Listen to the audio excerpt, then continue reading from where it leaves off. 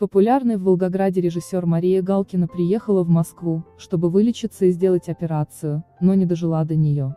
Несколько лет она боролась со страшным диагнозом. Накануне Мария умерла в московской клинике. Она приехала из Волгограда, чтобы лечь в больницу на операцию из-за спинальной мышечной атрофии. Несколько лет она собирала 3,5 миллиона рублей. В этом ей помогли не только друзья и поклонники, но и федеральные каналы.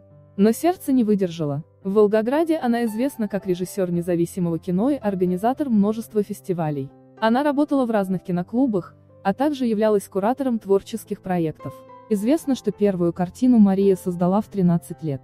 Позже получила образование в московском ВГИКе имени Герасимова, а затем вернулась в родной Волгоград и стала сама преподавать во ВГИКе. О страшном диагнозе она узнала несколько лет назад.